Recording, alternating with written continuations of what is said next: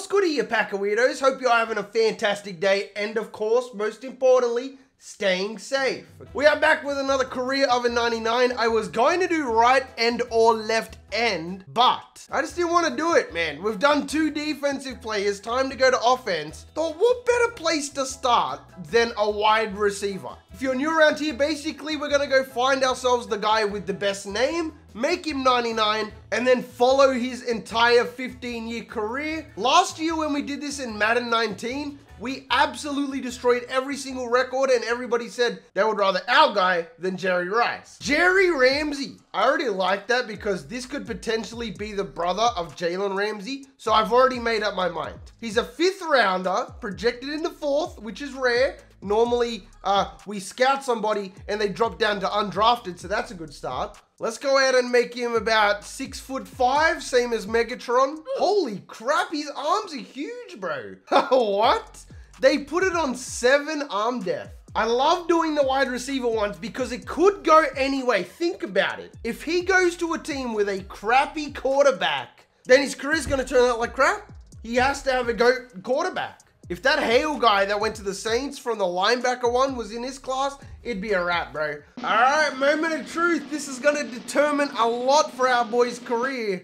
The Browns. The Brownies, mate. The Odell Beckham Jr. special, the Browns. They got him in the fourth round as well. What an absolute steal. I forgot to make him 20. I'm going to go do that right now. Did he grow dreadlocks? I, am almost certain he didn't have dreadlocks before. Bro, if Baker Mayfield does not throw for 4,000 yards this season minimum, something is messed up. This is a match made in heaven. I'm glad he went to the Browns. We're going to keep him with double me. He's also got evasive and short out elite. Go ahead and change that to deep in elite and deep out elite. This will mean whether he's inside or outside the numbers, it will not matter he will moss people. Also, what is going on with his hair? All right, we made the playoffs. Let's see how far we can take this before we check out these stats. Okay. Okay, first year Super Bowl. This is what I'm saying. This is what we needed. You're lucky, Baker. You're very close to not hitting 4K. MVP gonna go to Russell Wilson. Nothing out of the ordinary, I guess. DeMarco Wilbon. Oh no, this is this is Hale all over again, isn't it? Okay, so we're not on offensive player at all. Nick Chubb and Baker both make it though. Offensive rookie, gonna go to Tyrone Betts? Bro. Okay, this is so rigged. In our first season, we had a thousand yards, seven touchdowns, average 63.8 a game. How is that not offensive rookie of the year numbers? This is the guy who won offensive rookie. 426 and nine touchdowns. Get out of my face, bro. This game is rigged. Oh, we lost. Wait, we won. Oh, okay. I, I get what it's saying now. we lost. So we currently only have a 216 legacy score. You know what I mean? We won the AFC championship, but still just, they don't give any love to somebody with a thousand yards. It's like anybody can do that, right?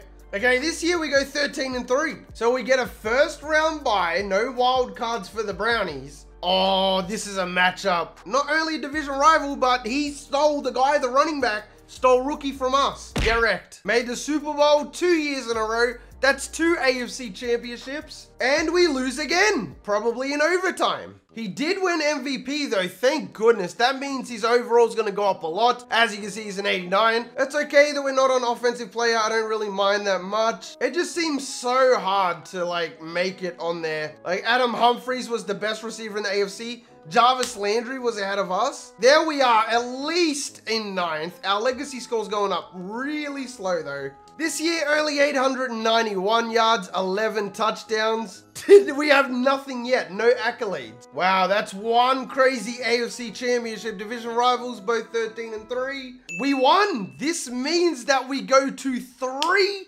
consecutive Super Bowls. I promise you, it's just going to take that one breakout season. That's it. And this was it. 1,400 yards, 87 per game, 16 touchdowns. We definitely had to have made it onto Offensive Player of the Year. Baker had 4,300, so he's still doing his job. 45 touchdowns, 7 picks. He's an X Factor now, and he's a 94 overall. I might still test free agency, because if we go to a team with a good quarterback, and not that many good receivers, we'll get more shine. MVP gonna go to Baker. Yep, I like it. Offensive player gonna go to Baker. Why did it pop up then like we did something crazy? Ah, that's why. Best receiver. Our legacy score went up 1,000 in that season. And we won our first Super Bowl. Not only is Jerry the best receiver to ever do it, you're paying for Super Bowl experience. Oh, we finally lost. Our streak of going to the Super Bowl officially ends, but that's three in three years still.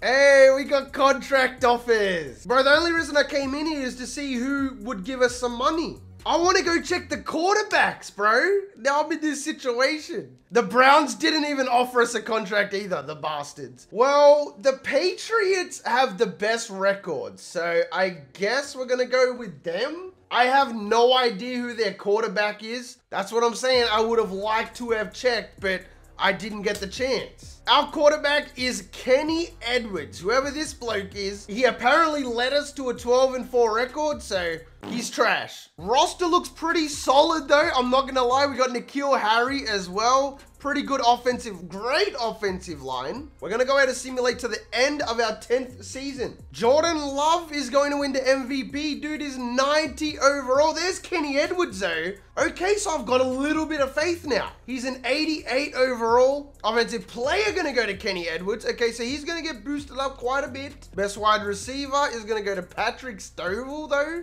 We finish in second. Our legacy score is 10,000 though. If we have a couple more dominant years, we could very well catch Julio. But I mean mega dominant, not like, you know, you did all right, buddy. About five and a half thousand left to go. We have won two Super Bowls, so we haven't won one since being with the Pats. Looking at our career stats, any huge C? Nearly 1,800 yards in 2029. That was just last season. 14 touchdowns. We averaged 111 a game. 2023, that was a really good season. But check this out. We have had multiple 1,300 yard seasons, multiple 1,200, one 1100 season and one 1000. We have only finished under a 1,000 yards one time. And that was that second season with the Browns. Currently 23,000 by Jerry Rice. We are not on this list as of yet. Calvin Johnson with just under 2,000. What a freak. That most recent season we had put us fifth all time. Oh, we got one job offer. Six. So nobody wants a 34-year-old uh, who's still 99, keep in mind. It's going to be the first career of a 99 where we go to three different teams. I'm looking for the team that has the best quarterback so we can finish in style. The Bills, Holden Hamlin looks like a beast. He's 92. There's only four quarterbacks that are 90 overall, and none of them are even 95. It's got to be the Jets, Bills, Bucks, or Cowboys. Ah, uh, out of all of those teams, it was just the Saints and the Bills. Okay, so we're still 99. Holder Hamlin's a 91. Got another receiver in Chris Lowry that should, you know, help us out a little bit. Other than that, this team's kind of ass. I'm not even gonna lie. we have no offensive line.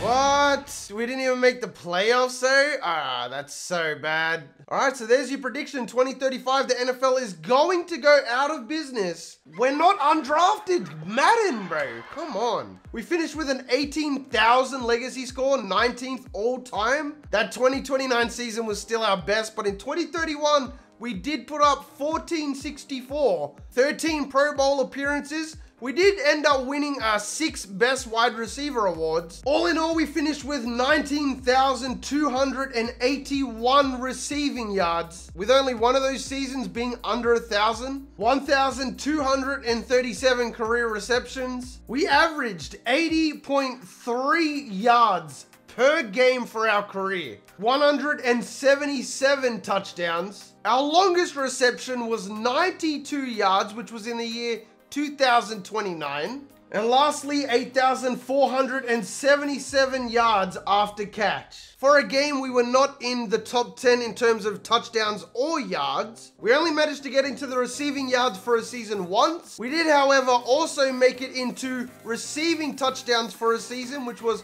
the 2031 season with 18. And last but not least, we finished 3,614 yards behind Jerry Rice on the all-time receiving yard list. I'm pretty sure Jerry Rice played for way more years than Jalen did, so we probably would have overtaken him. In terms of touchdowns, we also finished second to Jerry Rice. missing by 20 touchdowns. With that being said, fellas, you made it this far into the video. You are the real MVP. Hope the rest of your day is awesome. And from me personally, I'm out. Peace. It. Run into the bag like I'm so athletic. I've been up since six, making hits like tennis. I've been on fire, I just need my credit. Wanna go far, need to change my settings. Reaching for the stars, so my feet touch heaven.